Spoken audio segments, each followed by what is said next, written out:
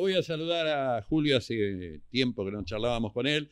Estuve viendo la conferencia de prensa que se ofreció, creo que en el Club Social, anoche en Belgrano.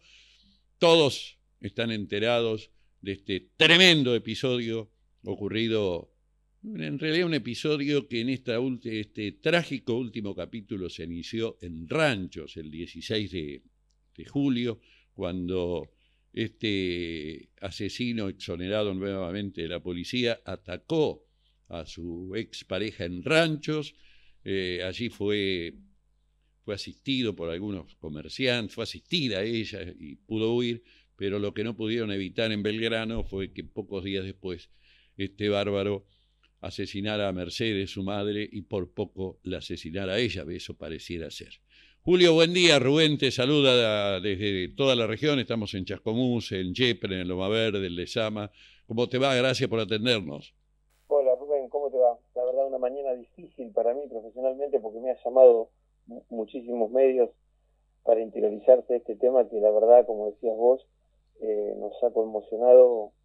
Mira, hace muchísimos años que, que no veo a la comunidad de mi pueblo consternada, emocionada y dolida eh, por un hecho luctuoso de este tipo. La verdad que estamos todos muy, pero muy mal, eh, conmovidos y creo que existe un reclamo, un enojo y una demanda social hacia las autoridades eh, porque este es un femicidio que, que se podría haber evitado porque se alinearon los planetas para que hicieran todo mal, para que finalmente Nathaniel Schouten la matara a Marcela de la manera que la mató y que intentara matar a, la, hija de Marcela, Eliana, que se salvó no por, por pericia policial, sino porque la salvaron los vecinos.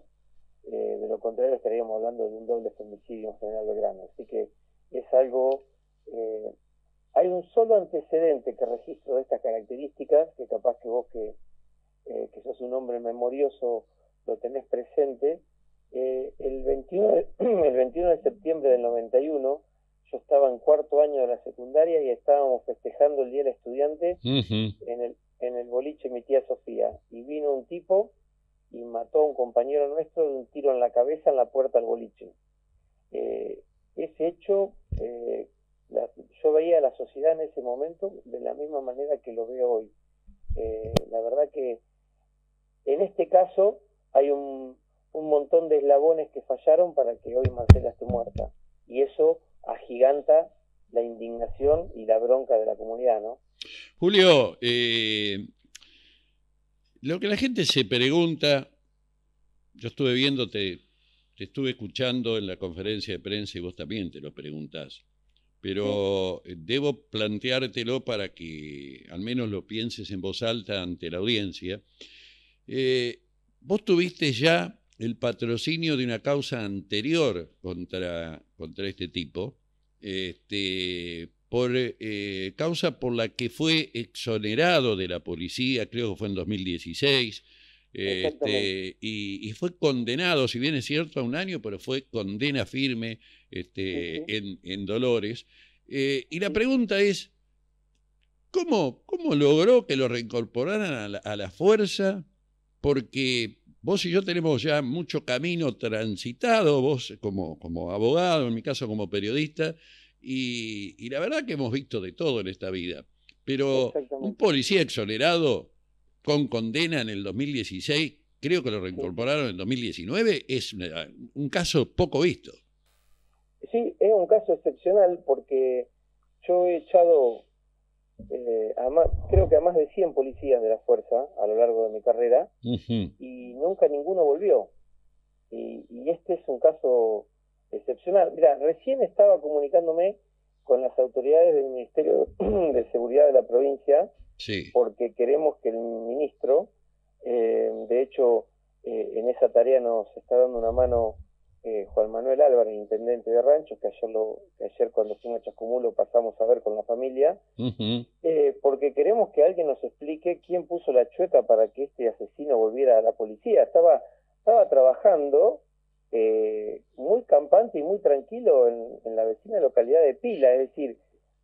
sí, creo, creo que alguna, alguna este, atenuación a sus funciones tenía, este, por, por, porque sus rasgos este, de psicópata eran indisimulables. Me parece, vos estarás más enterado que yo. Yo tengo la información de que eh, creo que estaba con tareas especiales adentro, que pero, pero estaba, es cierto, lo que vos decís estaba. Sí, pero también es cierto que en el medio, eh, ayer me contaba Eliana, que era la expareja de él, la hija de Marcela, que a ella hace unos tres meses la habían citado en el juzgado, le habían hecho una serie de preguntas y ella preguntó para qué eran esas preguntas y le habían dicho, no, eh, forman parte de un expediente para eh, restituirle el arma a Nathaniel. Eh, es decir, a nadie con dos dedos de frente le pasa por la cabeza ni siquiera tarea administrativa. Un tipo que está condenado por violencia de género por el Tribunal Correccional de Dolores no puede ni siquiera barrer la vereda de la comisaría, Gallego. No, no, no, no eh, tengas duda, no tengas duda. Y, el tipo estaba en la comisaría de pilas, se sacaba fotos, andaba en el patrullero, eh, eh, cuatro o cinco horas antes de matar a Marcela estaba jugando al padre con el que era comisario del general Acá hasta hace unas horas que lo echaron. A ver, a ver ahí, me quiero parar, Julio. Eh, te digo, eh, mientras tanto, en, la pantalla de televisión, en Rancho salimos por, por televisión en vivo también y por, este, por nuestro Facebook también estamos transmitiendo. Está la pantalla partida mostrando este, tu imagen y, y la marcha del domingo pasado que fue impresionante, este, impactó en toda la zona y en todo, en todo lugar donde se vio, la estamos volviendo a poner este, al aire. Eh, Julio, eh, yo escuché ese día eh, en la marcha cuando parte de los manifestantes y creo que una familiar de, de Marcela, le decía a las tres concejales que estaban allí frente a la comisaría este, que mm, o Marcela o, Eliana habían ido como a las 22 horas de esa noche, esa noche fatídica del sábado, a, a, denunciar el temor que tenían o alguna señal tenían. Y es justo a esa hora el comisario Echeverría estaba jugando al pádel con este tipo. Exactamente. Y no solamente jugaron al pádel, después cenaron y subieron eh, imágenes eh, a las redes sociales, viste que se estila mucho hoy para cierta gente. Pero es cierto que hay una publicación tipo 2 de la mañana que dice ya se viene. Sí, sí, sí, sí. Hoy algunos medios nacionales gráficos lo, lo reflejan. Sí, sí, se viene. Se, viene. Es más, eh, obran en la causa eh, distintos mensajes de texto de WhatsApp donde él amenazaba expresamente que, la, que las iba a matar, que, se las iba a cargar. Eh, esto, la, la, policía y la justicia hizo caso omiso. Eh, el domingo cuando hicimos la marcha, eh, que fue una marcha totalmente multitudinaria y pacífica a la vez, le pusieron dos patrulleros a la casa de él, que ya estaba detenido, pero no hubo patrullero antes para cuidar a Marcela y a Eliana, que habían hecho un montón de denuncias, ¿me explico? Es decir, es un caso que está plagado de irregularidades, que está plagado de complicidad. Eh, no me entra en la cabeza que alguien condenado esté trabajando en una comisaría en pila, tampoco que juega el padre con el comisario general Belgrano. Entonces, ¿qué queda para, para los vecinos de Belgrano? Eh, ¿Qué tranquilidad nos dan? Eh, ¿qué, ¿Qué certidumbre nos dan? Eh, de que las cosas van a cambiar por más que cambien un comisario. Es algo que a la familia eh, y a nosotros nos resulta totalmente insuficiente que cambien un comisario. Sí, sí, sí, todo el sistema gallego. Ahora, eh, algunas cosas que me planteo, Julio, porque, a ver, imaginemos que este tipo del apellido difícil, el asesino, este, por ahí, bueno, por ahí tenía algún este no sé, algún respaldo, algún contacto para que le dieran algún trabajo eh, y, lo colocaran en el Estado en algún lado.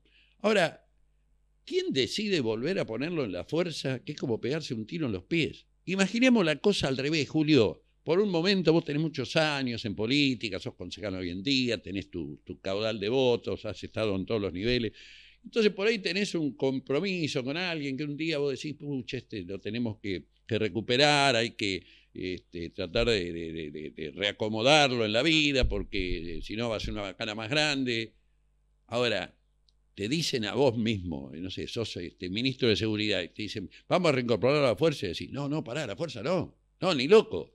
No, este tipo mandalo, este, mandalo al, ministerio, no sé qué cosa administrativo ahí, de ordenanza, este, la fuerza ni loco. Pero lo tenés que hacer con, este, con eh, eh, o sea, digo, el tipo que ordenó reincorporarlo a la fuerza, que indudablemente está ligado a, la seguridad y a la fuerza, tiene que haber alguna autoridad política de aquel momento y tiene que haber algún jefe policial que lo avaló.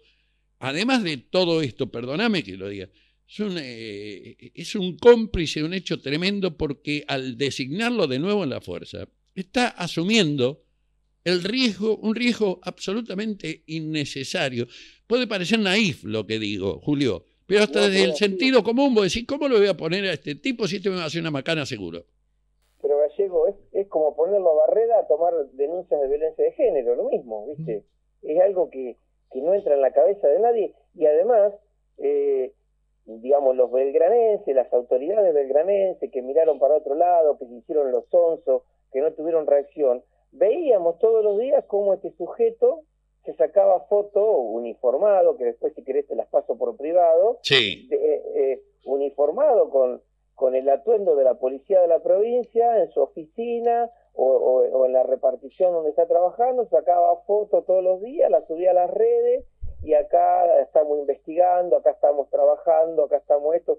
Yo digo, una impunidad y una torpeza eh, manifiesta, es decir, el viernes eh, antes del femicidio, no solamente eh, Eliana fue a denunciar una desobediencia por, porque él violaba sistemáticamente la prohibición de acercamiento que tenía, sino que en el mismo lugar donde Eliana fue a denunciar, el jefe de ese lugar estaba jugando al padre con el asesino, ¿me explico? Es algo muy fuerte para, para nuestra comunidad, es algo que no tiene ni pie ni cabeza, Gallego.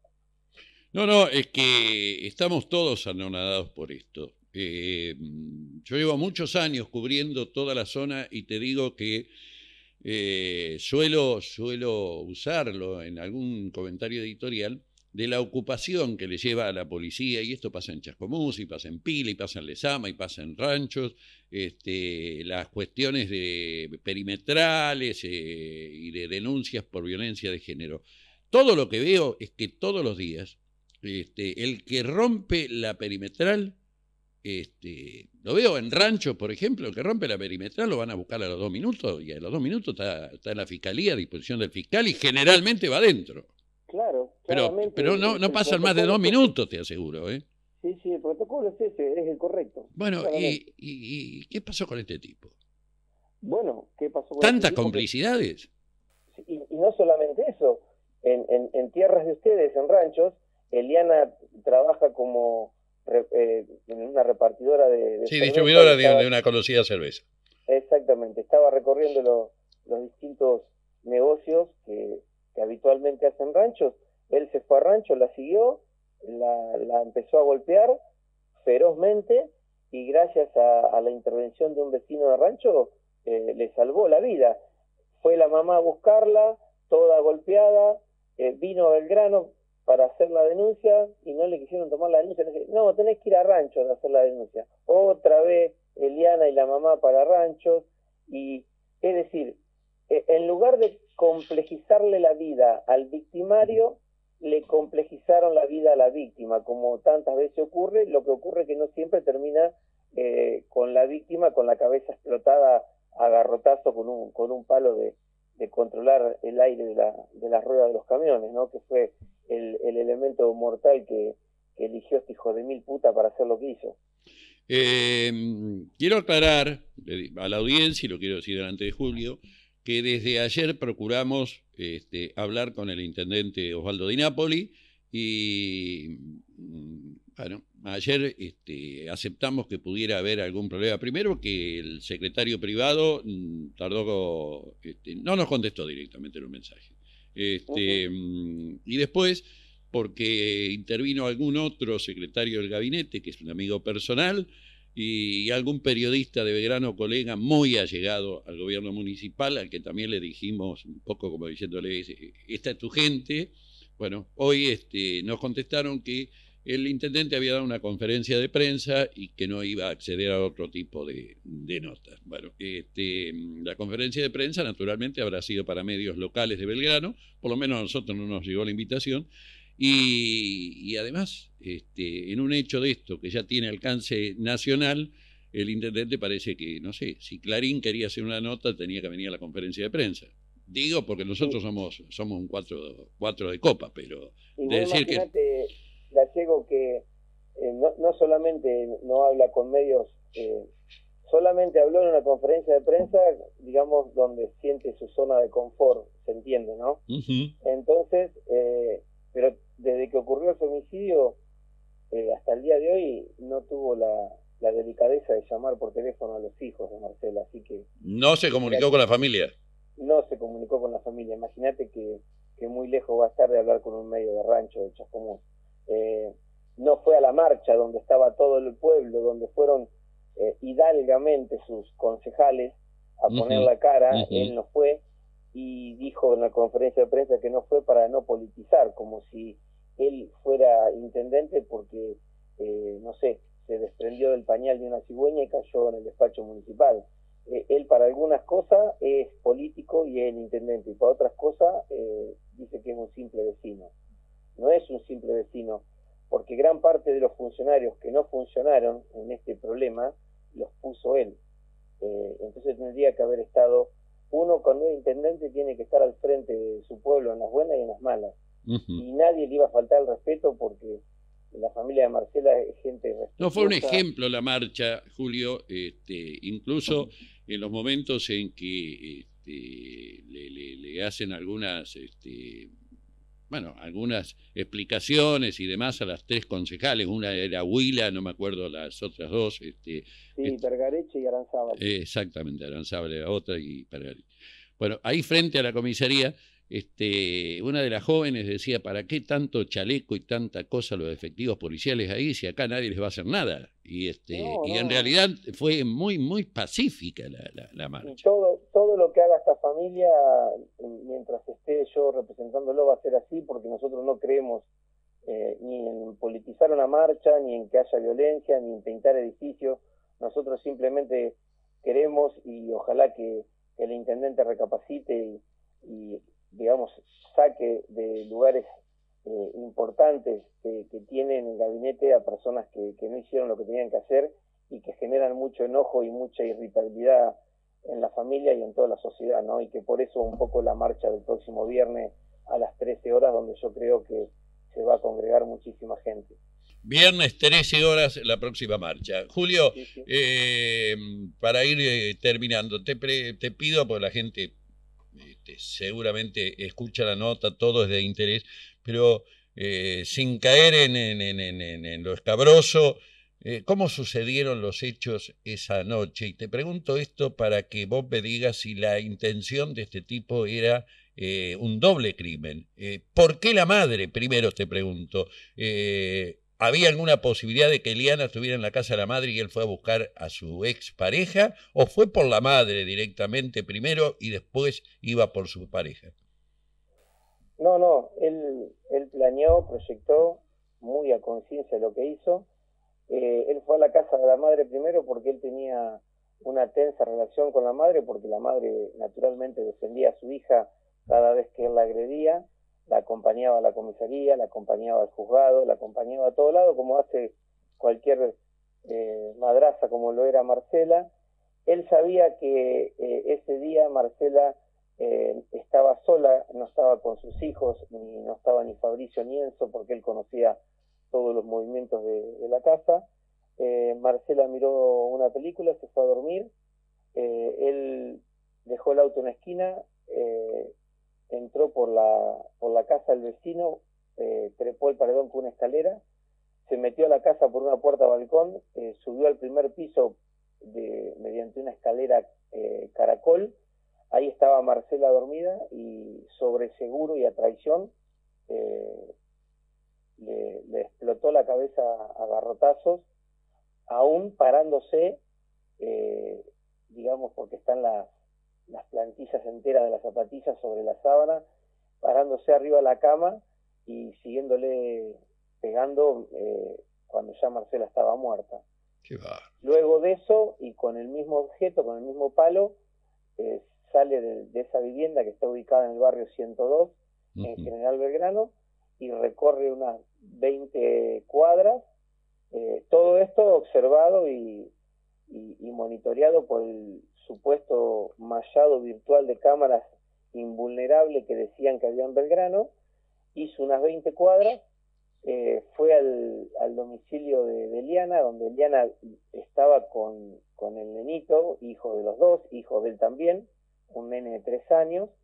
Él arrancó una reja porque Eliana vivía enrejada, arrancó una reja, arrancó el candado, pateó la puerta y entró a los gritos, llámate a tu mamá, llámate a tu mamá y ahora te mato a vos. Y le empezó a pegar con el mismo palo a Eliana en la cabeza, lo cual le causó heridas cortantes y, ella tiene la cabeza eh, suturada.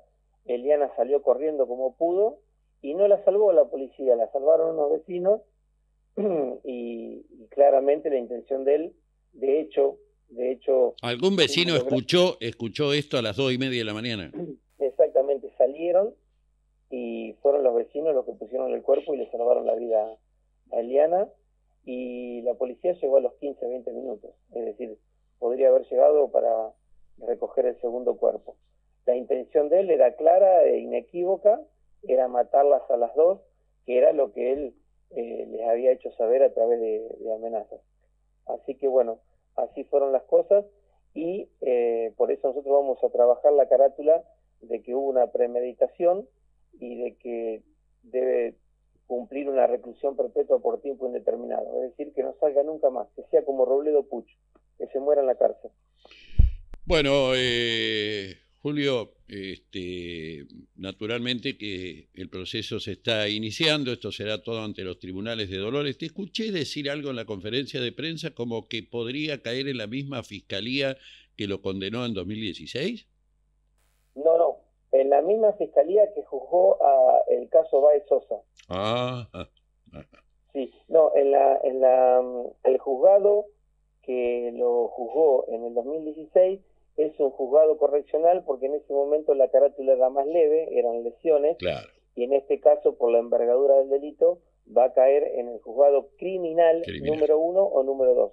Pero eh, la naturaleza, la competencia de los juzgados son distintas. Son distintas. Bueno, Julio, eh, te agradezco, sé que tenés una mañana tremendamente agitada, pero hay una gran conmoción en toda la región y, era necesaria tu, tu, tu, voz clara, tu explicación de todo lo que ha sucedido. Este, y claro que siempre queda esta reflexión, ¿no? Este, las condenas em, pueden por ahí tranquilizar un poco, pero nunca, este, nunca devuelven la vida de quien la perdió ni, el nada, nada. Nada.